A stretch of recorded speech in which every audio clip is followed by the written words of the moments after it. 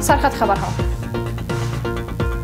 حمله انتحاری بر نمازگزاران در کندوز جانهای 42 تن را گرفت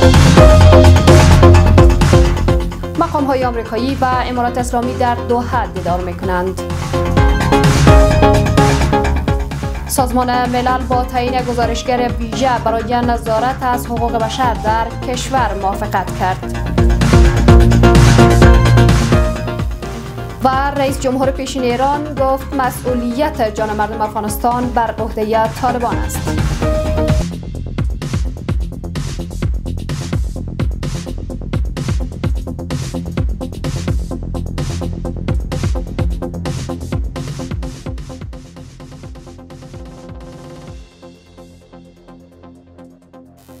سلام و وقت بخیر به خبر امروز از تلویزیون بامیان خوش آمدید مشروع خبرها مقام های امنیتی کندوز می‌گویند که یک حمله انتحاری در یک مسجد در منطقه خاناباد شهر کندوز رخ داده است. با گفته این مقام ها این رویداد هنگام رخ داده است که یک حمله کننده انتحاری مواد منفجره همراهش را هنگام نماز جمعه در داخل یک مسجد منفجر ساخت. با گفته مقام های محلی بیش از 300 تن در مسجد مشغول ادای نماز جمعه بودند که این حمله صورت گرفت. در همین حال زبی الله مجاهد معین وزارت اطلاعات و فرهنگ در صفحه توییترش این رویداد را تایید کرده و افزوده است که شماری از کسانی که در مسجد حضور داشتند در این انفجار جان باختند و شماری هم زخم برداشتند آقای مجاهد نوشته است که این انفجار در یک مسجد شیعیان رخ داده است. در همین حال رئیس اطلاعات و فرهنگ ولایت کندوز تایید می کند که در حمله انتحاری بر نمازگزاران در این ولایت 42 43 تن جان باختند و بیش از 140 تن دیگر زخم برداشتند. گواهان رویداد اما می‌گویند که در این رویداد بیشتر از 100 تن جان باختند و یا هم زخمی شده اند دفتر هیئت معاونت سازمان ملل در افغانستان یا یونامان نیز گفته است که گزارش های اولیه نشان می‌دهد که بیش از 100 تن در این حمله کشته و یا زخمی شده اند داعش مسئول مسئولیت این حمله را به دوش گرفته است. خبرگزاری رویترز گزارش کرده است که قرار است مقام های بلندپایه آمریکایی با نمایندگان امارات اسلامی برای دو روز در دوحه گفتگو کنند رویترز به نقل از دو مقام بلندپایه آمریکایی گفته است که این دیدارها به روزهای شنبه و یکشنبه در دوحه انجام می شوند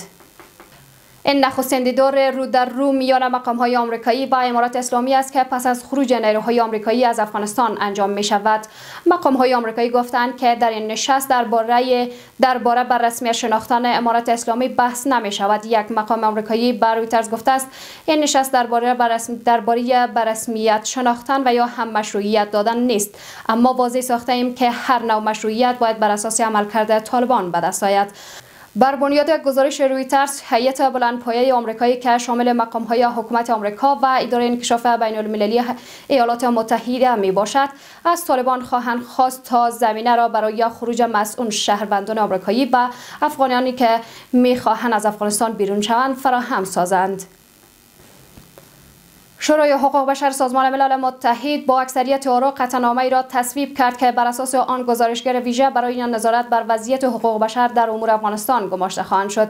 پاکستان چین و روسیه مخالف این اقدام بودند اما اتحادیه اروپا ایالات متحده و نمایندگان حکومت پیشین افغانستان در سازمان ملل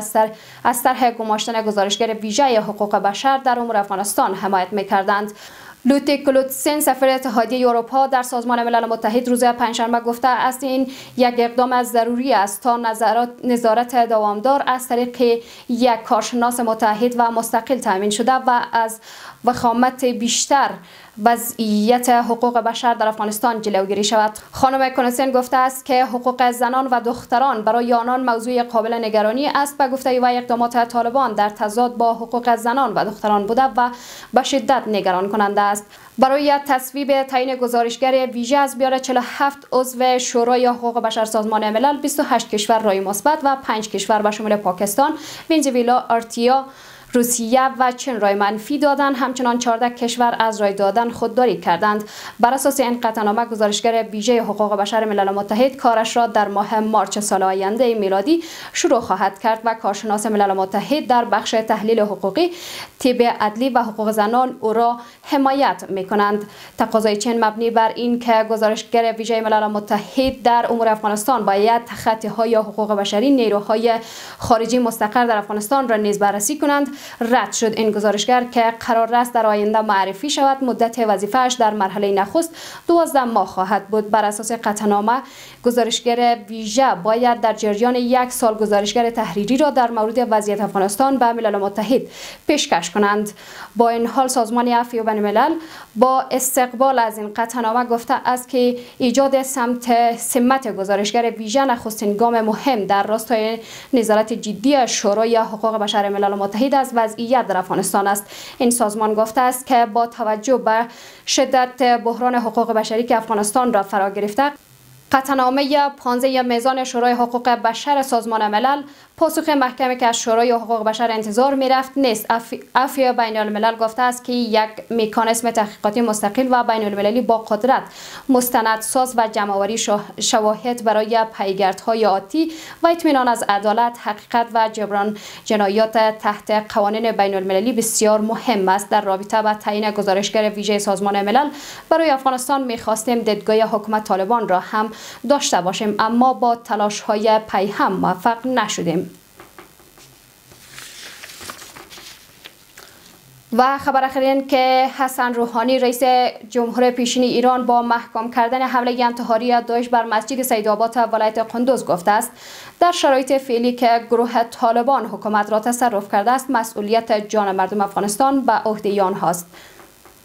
در این حمله بیش از 100 تن از نمازگزاران کشته و زخمی شدند آقای روحانی در توییتر نوشت در برابر کشتار بیرحمانی یا قندوز نمی‌توان سکوت کرد. تروریست هایی که خود را در پس شعارهای افراطی دینی پنهان کرده اند نه فقط به جان انسان هایی که نسبت به چهره رحمانی اسلام جنایت می کنند